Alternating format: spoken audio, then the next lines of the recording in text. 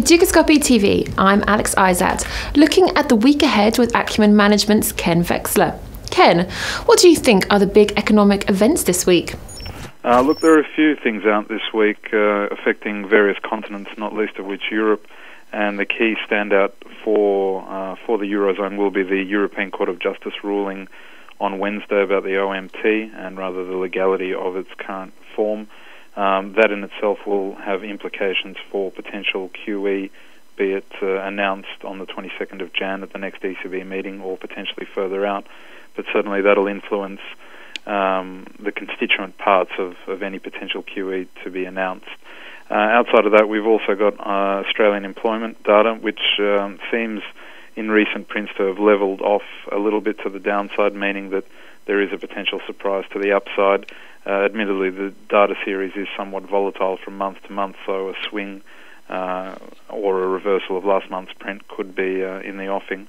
Outside of that, um, we're sort of US focused with retail sales from the US out on Wednesday, and perhaps, and certainly most more importantly, rather, US CPI uh, being printed on the Friday.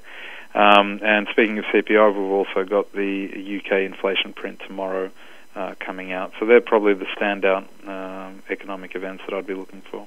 Is there a strong possibility the eurozone could spiral out of control? That possibility has been, I suppose, overshadowing you know price action and general politics for the last few, you know, three, four, five years.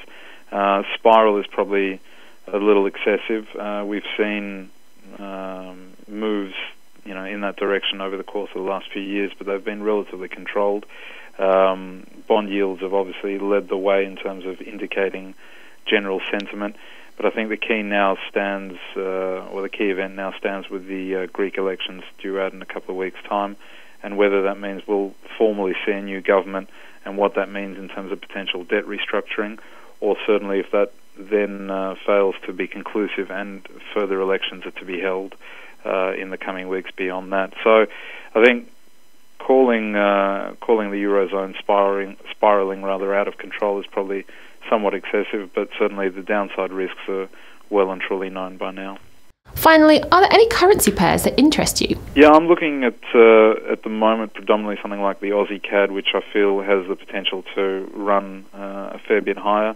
Uh, it had a fairly significant move to the upside towards the tail end of last week, and I'm waiting for a bit of retracement, a consolidation of that move, sort of into around the 96.50, 80 area, um, and looking for an overall move higher into around 98.5, just on the back of the fact that uh, CAD weakness is likely to persist.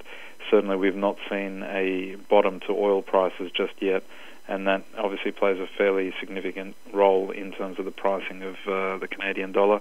Whereas, as mentioned, the employment data out of Australia, and certainly now talk abating about potential cuts from the RBA in the, in the interest rate, uh, could see a, a, squeeze to the Aussie uh, in on the upside.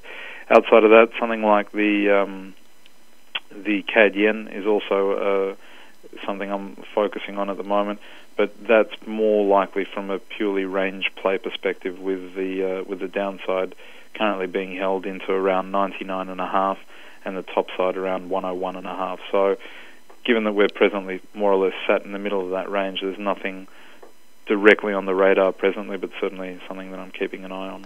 Thank you, Ken. For more in depth analysis of what's making the financial news this week, be sure to check in with Dukascopy TV. Goodbye for now.